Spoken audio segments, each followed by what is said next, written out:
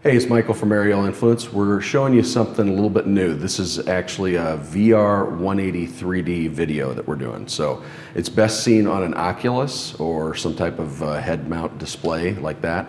Um, but you can obviously go, you know, cheaper. You can actually see it on, on a computer and on your phone and all that kind of stuff, but you're going to be scrolling around. So the best uh, way to view it is obviously through an Oculus type headset. But anyways, we're gonna look at the T16, just kind of basic stuff, you know, stuff that you've probably already seen, but you might not have seen it in VR 180 3D. so we're in the back of the T16. You've got your nifty little remote holder. Uh, you also have access to the big battery. So I'm gonna get this battery and kind of. It's a hell of a battery too. This is a big battery. This is about a close to 15 pounds, I think.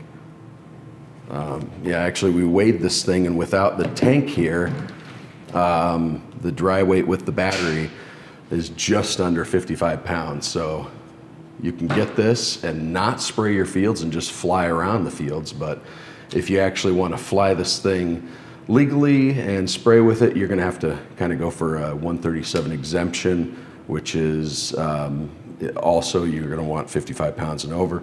We get into that. That's a that's a that's a whole different uh, thing. We're and just kind of showing some, and all stuff they can contact us about. Obviously, exactly, we could talk yeah. to them about it. Yeah, anytime.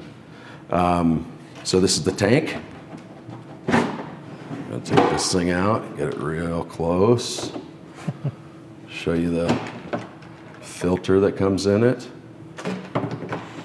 And the idea with this is that if you if you're going to buy one of these uh, spraying drones, you're going to want to get several of these tanks so that as the drone flies back, as it you know finishes, runs out of pesticide, runs out of battery, you've got fresh battery, fresh tank ready to just load right, right. in, and that's why it's so convenient with that that top mounting or top loading system. So. Right.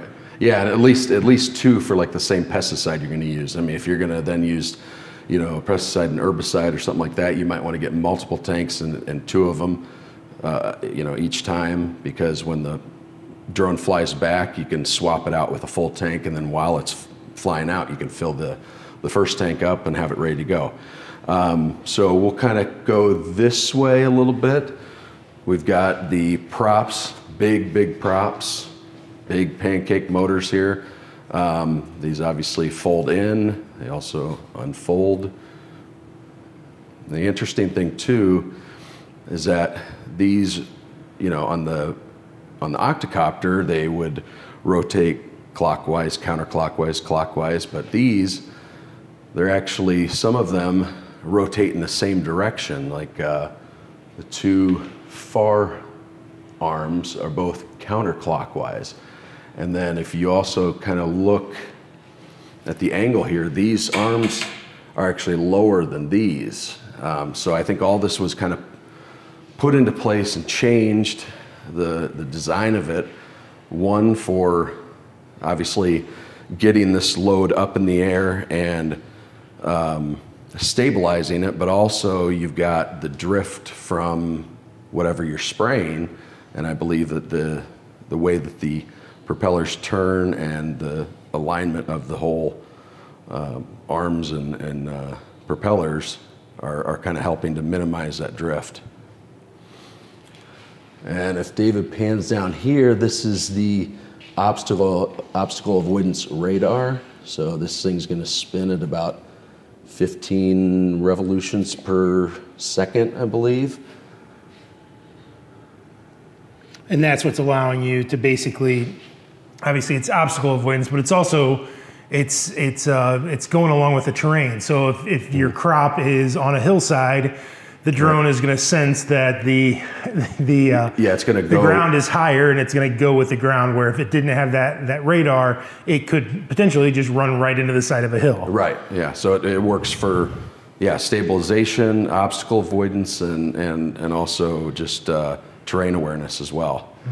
Uh, then the, the, up here you've got actually the RTK module. So now these drones are basically being equipped with RTK right from the get-go, so you're not buying a non-RTK versus an RTK.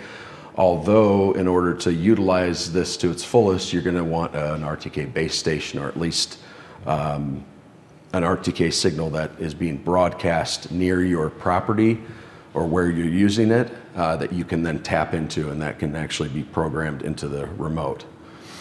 Uh, and so we're at the front here, signified by this nice orange mask.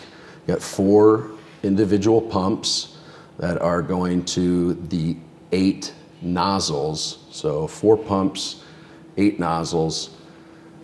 Right here, you've got an FPV camera, so you can see the live view. On the sides, it's for lights. That's another uh, conversation altogether too, because if you're going to do night flying, that's going to be something you're going to have to uh, obviously get a waiver exemption for if you're doing night spraying. But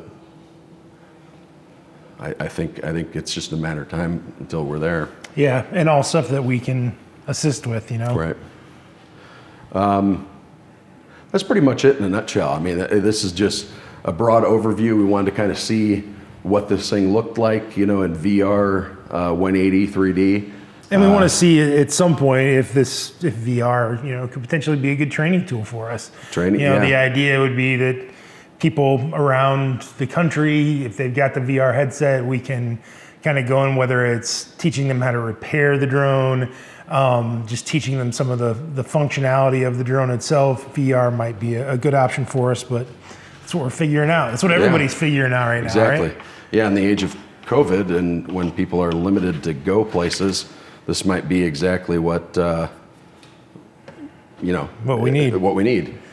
It does, yeah. and it does go. It does. Uh, you know, yeah. you don't have to put the whole thing down, but it, it does collapse down into a pretty, pretty nice little package. I mean, it. it, it yeah, the side arms kind of collapse into each other. The the front and back arms fold down, so you can see that it can get pretty pretty compact. Yeah.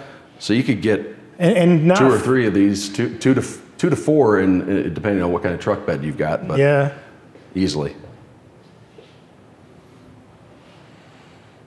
And again, you know, we don't we don't necessarily think these agricultural drones, while they are drones that we sell, we don't think that they are going to replace crop dusters or anything. We do see them as a tool that crop dusters probably should be looking into, probably should be using in some capacity. They might be able to to uh, actually, you know, hit a, a, patch of, of field that they weren't able to hit in the past. They could, you yeah. know, there, there are many things that, that a crop duster, they would actually be the ideal person.